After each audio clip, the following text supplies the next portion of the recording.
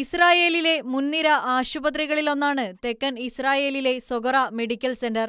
തങ്ങൾ പതിവായി ചികിത്സിക്കാറുള്ളതിന്റെ നാലിരട്ടി രോഗികളെയാണ് ഒക്ടോബർ ഏഴിനുണ്ടായ കിരാത ആക്രമണത്തെ തുടർന്ന് എമർജൻസി ഡിപ്പാർട്ട്മെന്റ് ചികിത്സിക്കുന്നതെന്ന് ഡയറക്ടർ ഡോക്ടർ സ്ലോമി കോദിഷ് വിവരിക്കുന്നു. അതേസമയം ചികിത്സയ്ക്കായി ഇസ്രായേലിലെ ആശുപത്രിയിൽ എത്തിച്ചവരിൽ ഹമാസ് തീവ്രവാദികളും ഉണ്ടായിരുന്നതായി വെളിപ്പെടുത്തിയ ഡോക്ടർ കോദിഷ് ചികിത്സ ആവശ്യമുള്ളവർക്ക് അതാരായാലും അത് നൽകേണ്ടതിന് തങ്ങൾ ധാർമ്മികമായി കടപ്പെട്ടവരും പ്രതിജ്ഞാബദ്ധരുമാണെന്നും ഡോക്ടർ കോദിഷ് വിവരിച്ചു We had some Hamas terrorists brought into our hospital.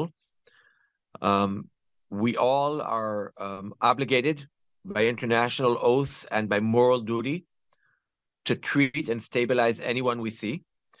Um, in both cases, um, the terrorists were moved on to army facilities for continued medical care.